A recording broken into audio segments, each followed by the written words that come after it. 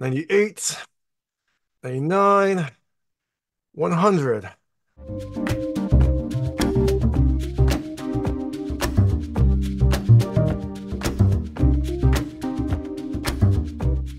All right, now that I've blasted my biceps, let's talk about the new weightlifting crime thriller Love Lies Bleeding, which is coming to limited theaters LA and New York on March 8, 2024, and then opening nationwide on March 15, 2024. There's a new weightlifting crime love story uh, that is co-written and directed by Rose Glass. My hot take is I think you should watch it later. There was a lot I did like about this movie. I thought it was interesting. I thought it was a very kind of different film.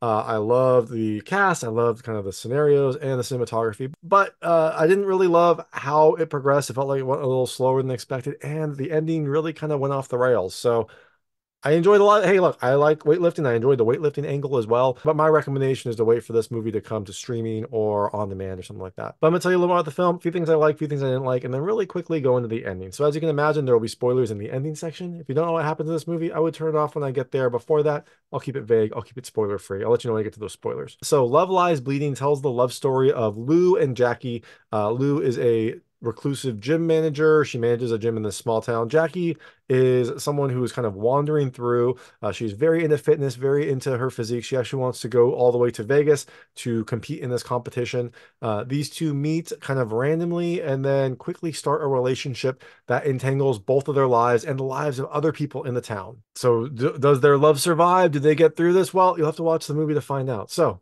things I liked about this film. The first, I love the sound and the music. I wasn't sure if this movie was going to be like a happy movie or a sinister movie or somewhere in between. The music and the sound definitely let you know from the start this is going to be a more sinister film. It has this kind of like eerie, sinister undertone to a lot of it. Some of the sound effects feel a little otherworldly. Uh, it feels like something bad is going to happen, especially at the start, which is good. It was good for me to know at the start that something bad was going to happen because bad stuff does definitely happen in this movie. The second thing I loved I love the cinematography. It has a really, really great like cinematic style. A lot of the film takes place at night, and there are some really nice low light shots, some really nice use of lighting and, and low light to kind of sell the story and, and also to give you an uneasy sense so that you know that something bad will happen pretty soon. Uh, the third thing I loved, I love the practical effects. There aren't a ton of them. There are not a ton of practical effects in this, but they are really, really well done. The few that they do have look real, look kind of grotesque, look really, really well done. Um, and I you know, I, I always love when a film uses practical effects, and this one did so perfectly. And the last thing I loved, I love the cast. You've got Kristen Stewart, you got Jena Malone, you've got Katy O'Brian playing uh, Jackie, the like weightlifting drifter, and then you also have Dave Franco and Ed Harris playing very, very different roles, very kind of out there roles. Uh, I loved the entire cast. It was a really kind of fun group, and I like that Dave, Dave Franco and Ed Harris got to play some very kind of different characters than you're used to seeing them in. Uh, so all that being said, things I didn't love as much. The first, the film is a little bit slow. It's a good story, but it develops a little slowly, especially at the start. I mean, it lays a ton of groundwork at the start, um, but it doesn't really get going until maybe about the back half of the film. I was definitely looking at my watch through the first hour just to see kind of how long had gone through. So I do love that it lays a ton of groundwork, but I do feel like it takes a little bit long to kind of get to the big meat of the story. The second thing I didn't love as much, I didn't love the ending. It really kind of goes off the rails at the end. It really kind of like gets a little bit out there at the ending, and also feels like some of the uh, big decisions are I don't know kind of explained away, which felt a little bit strange also. So I'm not going to go into the spoilers here. I'll go into it in the ending section, but just know this film kind of left me with a sour taste in my mouth because I didn't really love the way that it kind of concluded this interesting story that it develops. So all that being said, Love Lies Bleeding premieres in New York and LA on March 8, 2024, and then comes nationwide on March 15, 2024. I think you should watch it later. I think you should wait for it to come to streaming or on demand. But if you do check it out, let me know you liked and didn't like. Let me know your thoughts. I'd love to hear them. And I'm going to go into the ending right now. So if you don't know what happened to this movie, I would turn it off because there will be spoilers. So Lou is a is a gym manager. Jackie is passing through. She wants to kind of uh compete in this bodybuilding competition in Vegas, but she needs to work out. And so she starts working out at this gym that Lou manages. Now they very quickly develop a relationship. They, they get very, very entangled. Uh, Jackie basically moves in with Lou the first day because she doesn't have a place to stay. She's a drifter, so she doesn't have a place to stay. She stays with Lou. They get very, very close. Now, Lou also helps Jackie with her competition training. She starts giving her steroids because Lou's in the gym. She knows all about steroids. She knows who to get them from and kind of knows the, uh, you know, what dosage to take and whatnot. So she helps Jackie in her dream, and Jackie kind of gives Lou this companionship that she has been seeking for a long time. But Lou's life is a little bit complicated. Her family is very complicated. Her father is this crime lord, this person that is uh he owns a gun range, but he also does a lot of crime throughout the city. It seems like he has his fingers in a lot of different buckets. One of the things it seems like he's doing is smuggling in guns. I'm sure there are other things as well. Um, and his son-in-law, JJ, played by Dave Franco, uh, also has an interesting relationship in this. He is married uh, to Lou's sister, and he is a terrible husband. He he beats Lou's sister Beth uh, regularly. She uh, won't leave him, eh, but he is terrible to her. He cheats on her. He beats her. He is just not a good person. Um, and the only reason that Lou is still here, she would have left a long time ago because she doesn't like her dad.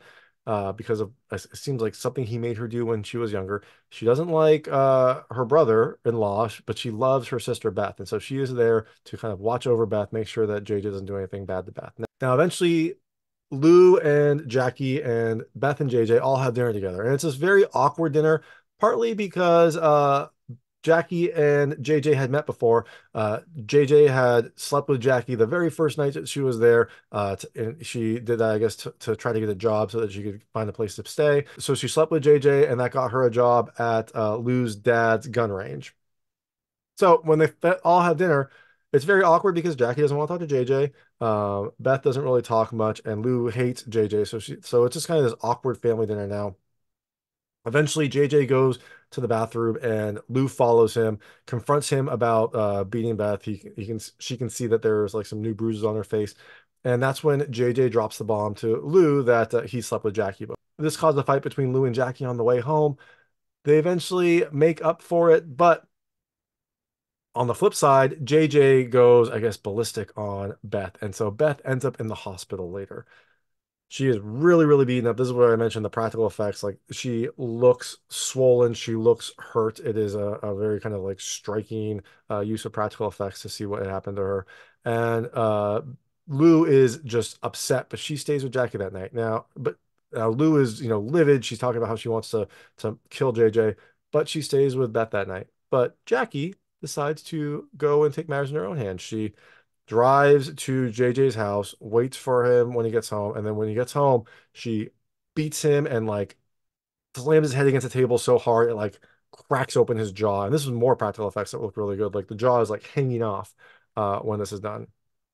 Part of this, it seems, is probably because Jackie is now on steroids, so she is kind of like hyper um, angry, like hyper emotional, and so she does what she thinks that Lou wants. She kills JJ uh, and then stays there. Now, eventually, Lou leaves the hospital.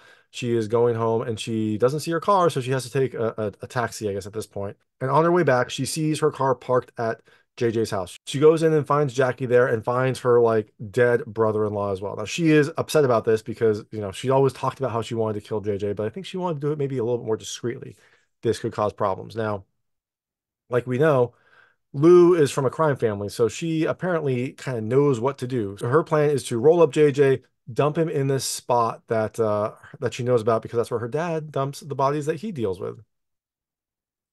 They get moving, they get driving. Uh, the plan seems like it could be perfect, except Lou is seen by someone that she knows, this person named Daisy, who they've had an on and off again relationship, sees them as they're driving, and unfortunately for Lou, she has now been spotted during this whole thing.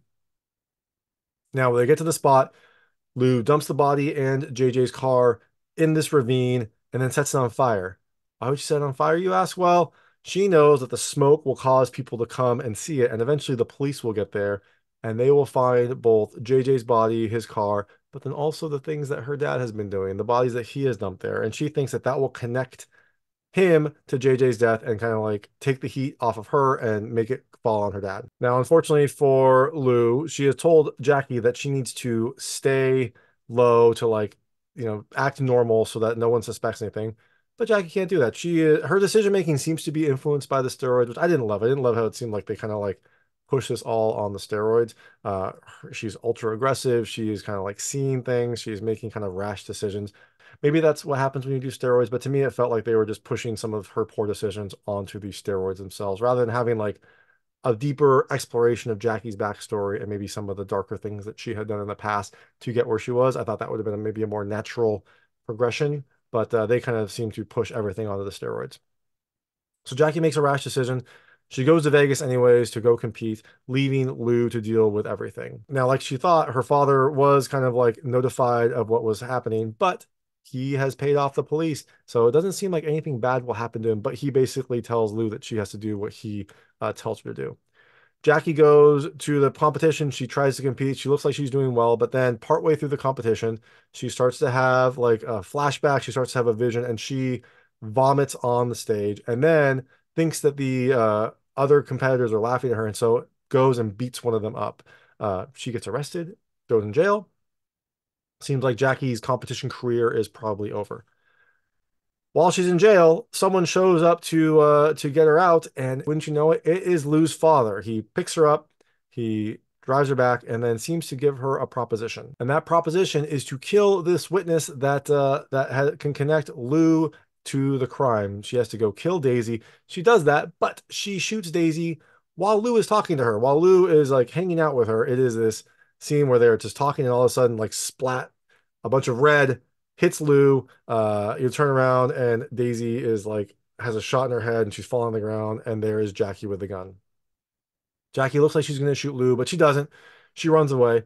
Uh, and now Lou has to deal with another dead body, uh, uh, another dead person. So after this, Lou calls her dad her dad uh you know basically says like look i got rid of the witness that could connect you to the crime. Like i'm doing this for you. Uh just sit still and let me handle this. You can't handle this. But he also now has to get rid of jackie because jackie is a you know accomplice to this whole crime. So he ties her up and and kidnaps her. Now lou wants to free jackie. She wants to kind of like be free of her father. So she threatens him. She says you know i will call the police and tell them everything that you've done like you know unless you let her free now, unfortunately for Lou, her dad is a seasoned criminal. He knows what has to happen. And he's like, basically, I wish you would have done that.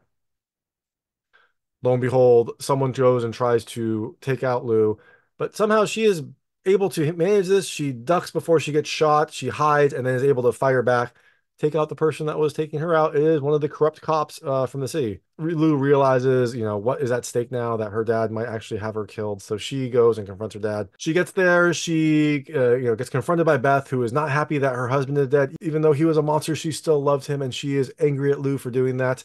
Uh, Lou obviously did it for Beth. She doesn't really understand why Beth is upset with her, but she can't think about that now because she has to go save Jack. So she frees Jackie, tells Jackie to go run, like get out of there. Uh, you know, she's gonna finish this up. Tell Jackie to go hide. Jackie goes and runs, but as she's trying to kind of confront her dad, her dad is a really good shot. He shoots her in the leg. She falls down, and he basically goes up to her and is, you know, complaining about how she was ungrateful, how she didn't realize everything that he did. And Lou basically said, you know, believes that her dad had her mom killed right before her mom was going to go to the cops with information, kind of like what Lou is doing right now. She disappeared. Her dad denies this. He says, I didn't kill your mom. Like she ran away. She she couldn't handle this, so she ran away. You don't know what the right answer is. You don't know exactly what happened. You never really find out. It seems likely that her dad killed her mom, but also maybe her mom just like couldn't handle this and wanted to be free of this whole lifestyle, kind of like what Lou is doing now. You don't ever get an answer there, but in any event, her dad says he, she, he didn't kill her mom. Lou is in pain, uh, and Jackie hears the screaming, so she comes to help Lou. Now, this is where it gets weird, like magical realism. Jackie comes behind him, and then she like grows into this giant. Like I guess the steroids are now making her into a giant or maybe a giant personality and she like picks up uh, the dad with her giant hands and holds him on the ground uh, i assume in reality she just kind of tackled him and held him down i didn't love that this went into this weird like fantasy realm because the movie had been fairly grounded before that so now the dad is being held down by giant Jackie. Um, Lou comes up with a gun and is about to shoot him in the face. She stuffs the gun down his mouth, um, but then she doesn't do anything. She hears the cops coming and she leaves her dad there uh, in pain but alive and her and jackie go and flee. And they go and flee by like riding by lou riding on jackie's gigantic shoulders as they're running away and then they go up into the clouds. It was a weird sequence. I didn't love it. Now next scene you see them driving. I think they're they're driving to california. They mentioned uh, about going and starting out west going to california starting a new life. So they're on the road driving and from the back seat you see something moving Lou pulls over. Jackie's asleep. Lou is driving. She goes to the back seat. She pulls this blanket up, and wouldn't you know it, her friend Daisy uh, is there, and she is still alive, but barely. She looks really bad. She has a gunshot in her face. She looks like she's barely alive. Now, you would think Lou might be excited about this. I don't know why she had a body in the back of her truck. Um, I guess she was going to dump it when she then got, you know, derailed and had to go uh, stop her dad. But she then decides that she is going to strangle Daisy because Daisy is well, the person that can connect Jackie to a crime. Jackie shot Daisy.